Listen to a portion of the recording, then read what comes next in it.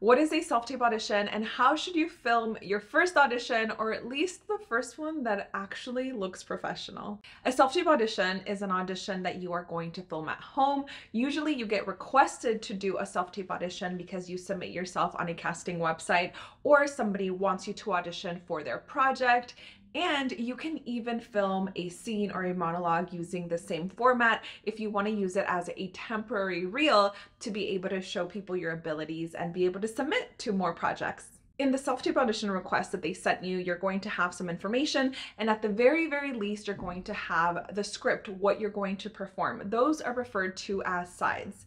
If they would like you to do a slate, they're going to say it in the request. And the slate is just an introduction of yourself and it can be as basic as, Hi, I'm Belgica Rodriguez.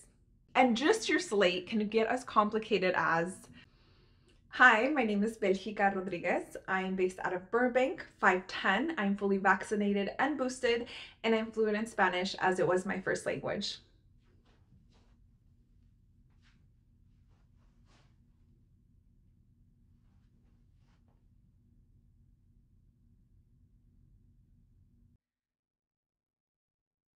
Now to set up and do your self-tape audition, you're going to need your phone. Your phone is a great place to record your audition as long as the camera lens is not cracked. And you're gonna need somewhere to put your phone on. So you can either use a tripod or if you really just wanna use whatever you have at home because this is your first time auditioning and you didn't even have a clue you were gonna be doing this today, Find a bookshelf or something high where you can put your phone eye level because you want to make sure that it's a good position. You're going to want to have a blank backdrop, completely blank, a quiet room that's not too echoey, and then a light source. So this can be natural lighting or if you have a bunch of lights in your home, you can turn them all on.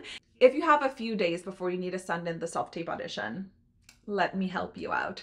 Get a tripod because your first self-tape ever is going to be so frustrating honestly, a lot of them are going to be frustrating until you start getting the hang of them. But having a tripod is going to make your life so much easier because you're going to be able to put your phone exactly where you need it. If you are in the position to start um, leveling up a little bit and you want to purchase maybe a light or a backdrop or something, there's a temporary, it's while supplies last, um, self-tape kit that Casting Workbook is selling. This is not sponsored, but I do get a portion of the sales, just so you know. I'm just sharing it because it is a really good deal. Um, I've talked about this in the past. It's a ring light, a few tripods, and a backdrop. And the backdrop is blue and gray, and I think it's a really good deal. If you're in the US, it's $72 with the code, but without the code, it's $240. It's an extremely good deal if you want to buy a whole kit. The backdrop will need a little bit of steaming just so you can get all the wrinkles out, but I think for your very first self-tape kit, it is really good. And then later, if you want to invest in some other backdrops, I really love these Savage Paper backdrops because they always look good. You never have to steam them or anything. And what you're gonna spend the most money on is going to be the stand to get a nice sturdy stand that won't wobble around.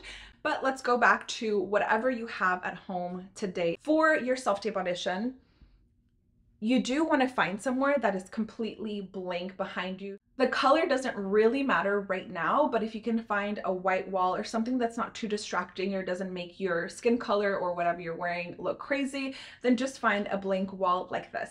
And you want to make sure your camera is eye level. Mm-mm. No. The number one thing you can do to show people that you're a newbie is to film your audition vertical. If you do that, you're, you're just telling them like, oh, I really, I don't know what I'm doing. And I didn't read the directions because they usually include that in the directions, like please, for the love of God, film it horizontally. And then as far as your framing, you can have a little bit of space above you just so that they're able to see, you know, the, the shape of your head.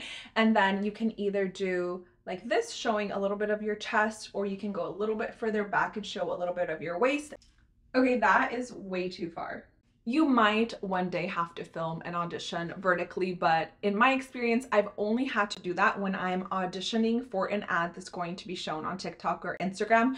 Otherwise, if it's theatrical, 99.99% of the time, they're going to be begging and hoping that everybody sends an audition horizontally. If your room is super, super echoey, there's a few things you can do. You can put blankets or jackets all on the floor, or you can invest in a really cheap microphone that you can attach right to your phone. And then your third option is to edit the audio in post. As far as editing your audition, you do not have to say your entire audition all at once, like your slate and then the first scene and then the second scene. No, it's okay to shoot a few slates and then a few of the first scene, second scene, and then when you're editing it, you can cut it so that you choose the best ones and put them together. To edit your videos, you can do it for free on iMovie or Adobe Rush on your phone, and I have a video here on how I edit my self tapes to make them look more professional.